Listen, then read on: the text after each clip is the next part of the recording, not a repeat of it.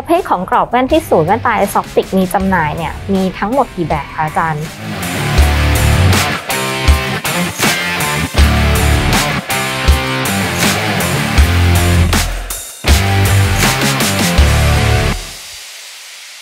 มีสองแบบครับ คือเป็นแบบสำเร็จรูปกับแบบที่สั่งผลิตเฉพาะบุคคล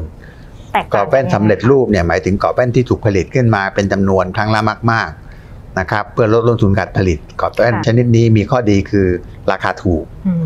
นะครับ แต่ว่าเราไม่สามารถเลือกได้ว่าความยาวขาเนี่ย เราจะเอาสั้นร้อยสามสิบห้ามิลลิเมตรหรือปานกลางร้อยสี่สิบห้ามิลลิเมตรหรือยาวสุดร้อยห้าสิบห้ามิลลิเมตรค่ะหรือแม้กระทั่งขายาวพิเศษสุดทำได้ถึง200มิลลิเมตร ถึงแม้กรอบแว่นจะมีราคาแพงกว่า แต่ก็ไม่ได้แพงมากนะครับ ไม่ถึง 20,000 ก็ทำได้แล้วนะครับกรอบแว่นเฉพาะบุคคลเนี่ยข้อดีคือ 1 สลักชื่อได้นะครับสลักชื่อผู้ใช้แว่นของเจ้าของแว่นได้ ข้อ 2 ก็คือเลือกสีได้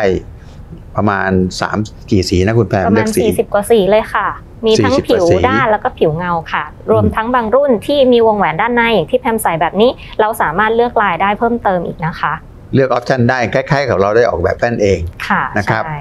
ดังนั้นเวลาซื้อกรอบแว่นผมแนะนำว่าให้ใช้เป็นกรอบแว่นที่สั่งผลิตเฉพาะบุคคลจะดีกว่าเข้ามาที่ไอซอปติกแล้วก็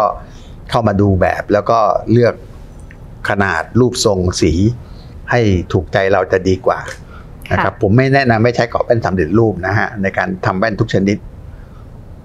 ยกเว้นเสียแต่ว่าเรามีงบประมาณจำกัดมาก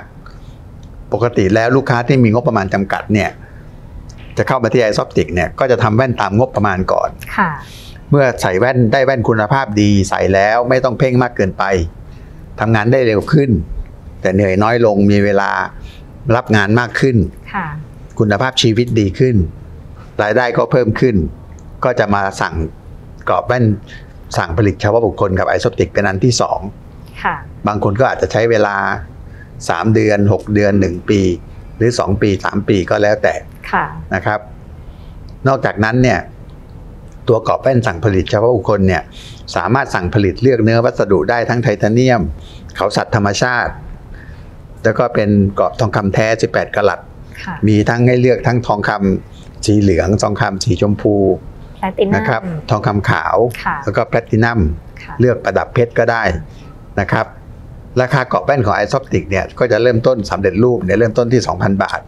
นะครับแล้วก็กรอบแว่นเฉพาะบุคคลเริ่มต้นที่เท่าไหร่ครับคุณแพรตอตอนนี้จะเริ่มต้นอยู่ที่ 18,800 บาทค่ะ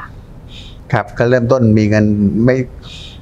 18,800 บาท ก็ได้กรอบแว่นเฉพาะบุคคลแล้วนะครับใช่ค่ะเอ่อรายละเอียดเกี่ยวกับกรอบแว่นนะคะ ว่าที่ศูนย์แว่นตา iSoptic มีกรอบแว่นอะไรบ้างลูกค้าสามารถเข้าไปศึกษาเพิ่มเติมได้ที่เว็บไซต์ isoptic.com ได้เลยนะคะ ขอบคุณมากค่ะสวัสดีค่ะ ครับสวัสดีครับ